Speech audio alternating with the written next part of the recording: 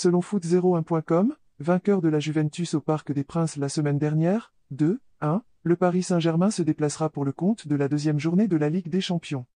Quelle heure pour Maccabi Haïfa, PSG Au lendemain du match de l'OM contre Francfort, le club de la capitale représentera le football français en Ligue des Champions.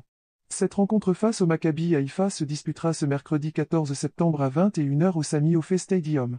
L'arbitrage de cette partie sera assuré par l'Allemand Daniel Sieber.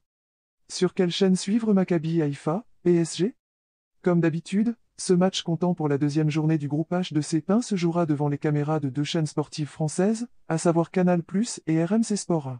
Sur la chaîne d'Altis, les commentaires seront assurés par Jérôme Sillon et Emmanuel Petit, alors que Flora Moussi sera en bord terrain. La compo probable du PSG contre le Maccabi Haïfa. Encore et toujours invaincu cette saison, le PSG se rendra en Israël avec la ferme intention de conserver sa place de leader dans son groupe de champions. Pour cela, Paris devra dominer Haïfa, défait sur la pelouse de Benfica lors de la journée d'ouverture la semaine passée, 0-2. Pour remplir sa mission, Christophe Galtier sera quand même privé de Kimpembe ou Renato Sanchez, tous les deux à l'infirmerie après des blessures en ce début de saison. La compo probable du PSG, Donnarumma, Marquinhos, Ramos, Danilo, Hakimi, Verratti, Vitinha, Nuno Mendes, Messi, Mbappé, Neymar.